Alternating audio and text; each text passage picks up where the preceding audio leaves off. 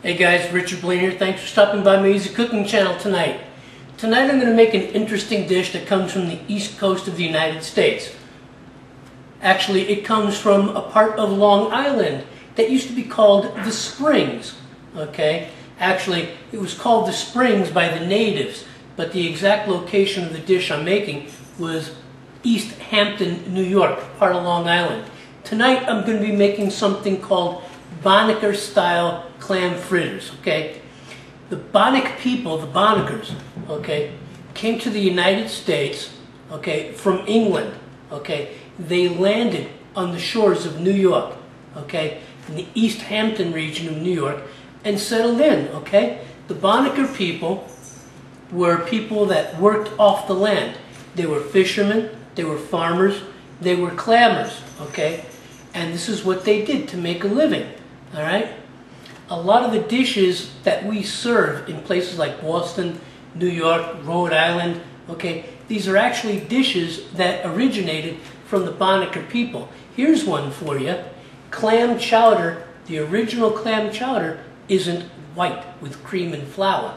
The original clam chowder came from the Bannock people and it was made with tomatoes in a red base hence Manhattan style clam chowder. Yeah, baby, Manhattan. And it's a great dish, okay? But the Bannock people inhabited the United States along the 16th, 17th, 18th centuries in New York, in Long Island, okay?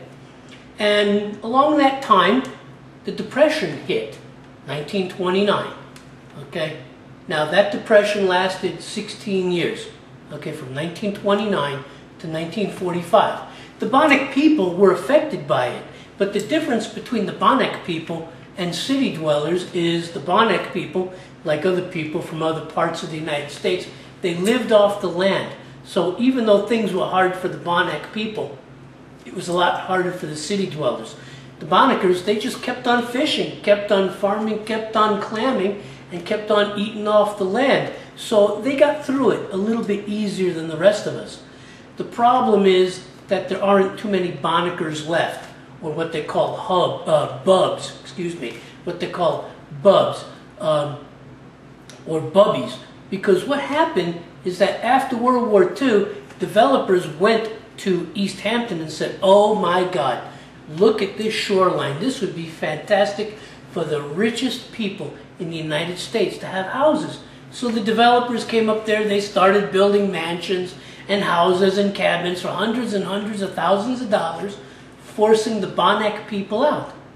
Okay, so today, if there are any Bannock people left, they're all over the United States because what used to be the Springs, what used to be East Hampton, is now called the Hamptons due to the developers. Okay, the Hamptons, you know, where the politicians and the rich movie stars go, hey, I'll be spending my summer up in my mansion in the Hamptons.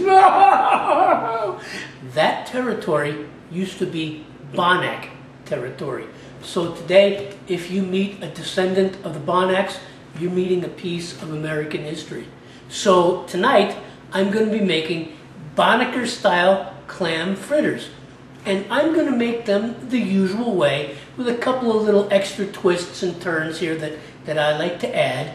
And I have a friend named Ariyele at a channel called Ariyele Keeping It Real. And she does gluten-free recipes. And we started talking lately because I found her channel from somebody else's channel. And she's from my old stomping grounds in New York City because I'm originally a New Yorker. Okay?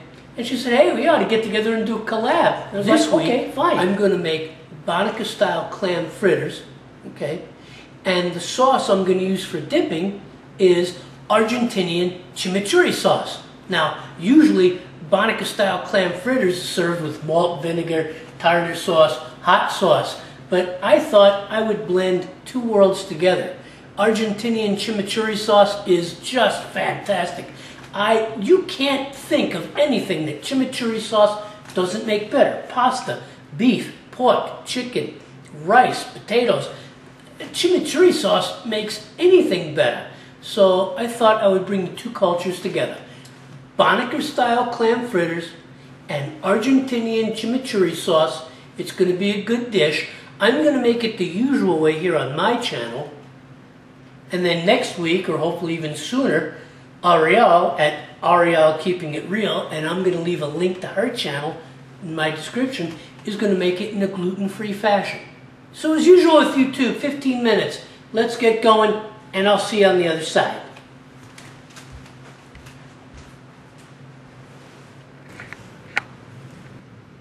Okay, so the first order of business is we're going to make the chimichurri sauce because we can let that chimichurri sit and marry while I make the clam fritters. So the first thing is we're going to put a nice healthy bunch of cilantro into the food processor. Okay, and along with that, we're going to put a nice bunch of Italian flat leaf parsley.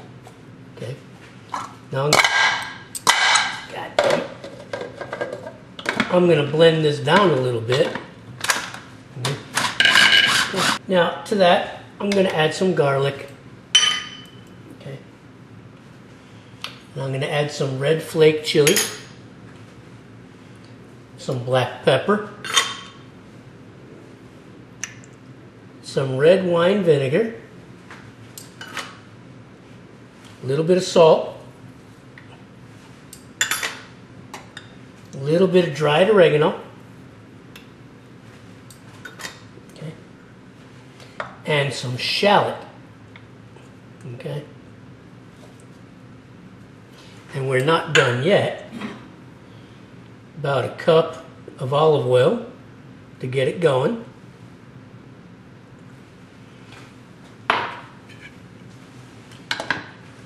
There we go. There we go.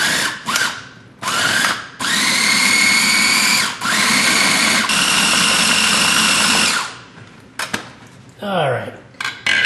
Chimichurri is coming along quite well.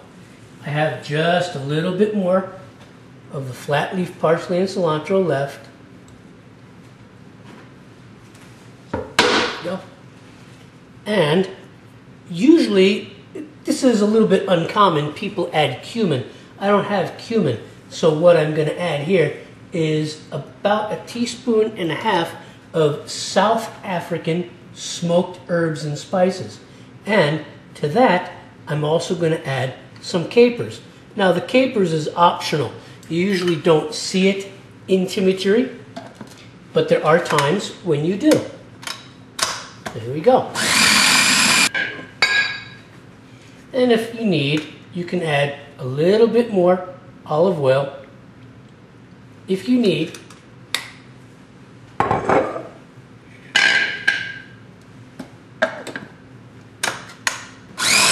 Alright, there you have it. The chimichurri sauce is done. I'm going to set it aside. I'm going to let the flavors marry. And we're going to move on to making some Bonaker style clam fritters. Alright guys, it's time to make the clam batter. Okay, so what we're going to do right now is we're going to take some AP flour okay, and some baking soda and some baking powder. Okay, and I'm going to aerate that. Aerate, aerate. I'm going to whisk it together. Okay, that eggs. Okay, and a little bit of lemon juice for some tart. Okay, and a little bit of clam juice. Where did my clam? Oh, there it is. There's my clam juice. That's from the clams themselves. Oops. Excuse the noise. Okay, and I'm gonna whisk this together. Break those yolks. There we go. All right, now I'm gonna add a little milk. Okay. That's gonna help loosen it up again. There we go. There we go.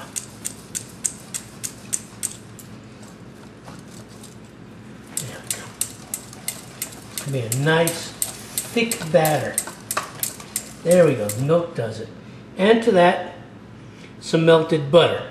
Actually, what I'm using isn't butter, it's ghee. Okay. I've been using a lot of ghee lately.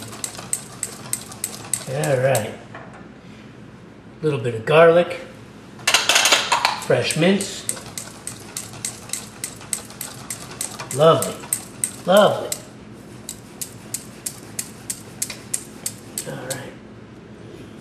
Some chili flakes. Oh yeah, I can smell it already. A little bit of brown sugar. Come on out. The sugar is optional. I happen to like brown sugar, so I'm going to add it to this batter. All right. If you happen to have some fresh basil, put it in. About two tablespoons of fresh basil leaf. And if you don't have fresh, you can use one tablespoon of dry basil leaf like I'm using here. And here's some dried thyme. All right. This is smelling good already. Here's some scallions. There we go. Nice thick batter. I know you're wondering where are the clams? Well, the clams are coming. There's some regular brown onion. Oh, these fritters are going to be so good. There we go. Brown onion. And here are the clams.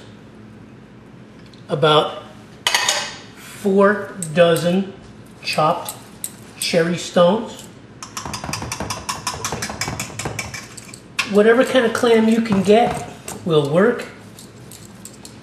I was just lucky enough here in Las Vegas to find cherry stone clams. There we go. And here's our nice thick batter. It does not take much to get this going. And I'll get that batter out of our whisk. Get that batter out of our whisk. And I'll whisk it a little more. And we're going to get ready to fry up these fritters. Okay, here we go. Time to make the fritters. So I'm going to take a tablespoon, maybe a tablespoon and a half, and I'll lay it right here in the corner. Small amounts. We don't want a crowd. Okay? Small amounts. We don't want a crowd. There we go. Probably get three or four at a time done. There we go.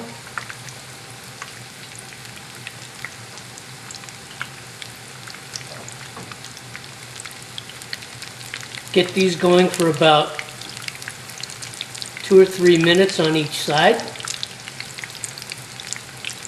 And then we're going to turn them.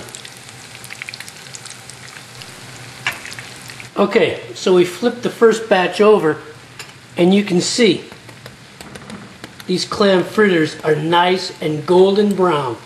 Oh my God, they smell so good. And about another two minutes on the other side and I'm going to take these out and put them on paper towel to drain I'm going to put the next batch in. But look at that golden brown color. Looks almost like fried chicken. Mm, mm, mm. It looks so good, smells so good. And I'm going to drop the next batch in another minute or so. All right. Now we're going to drop our next batch. So here we go. There we go. There we go.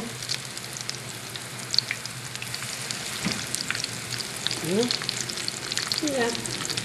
About four at a time, because I'm using a 10 inch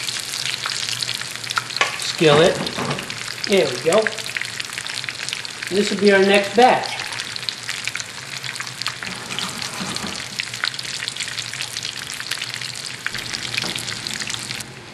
Alright guys, here's my third load.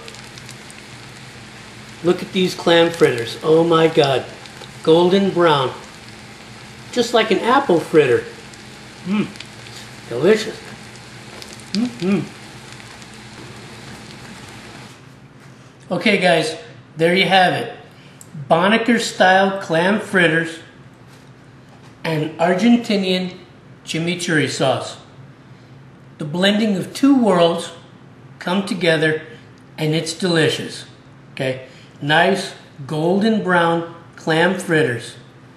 Okay, and the lovely savory taste of this chimichurri sauce. I think it's a combination made in heaven. I hope you try it. I know you'll love it. I want to thank you for stopping by. I'll see you on the next video. Take care. Hey guys, I want to thank you for stopping by my Easy Cooking channel tonight. I hope you make this recipe. Bonaker style clam fritters, they're delicious, with a lovely Argentinian chimichurri sauce. I hope you make this recipe, I hope you make it your own. I'm glad you stopped by. I'll see you on the next video. Take care.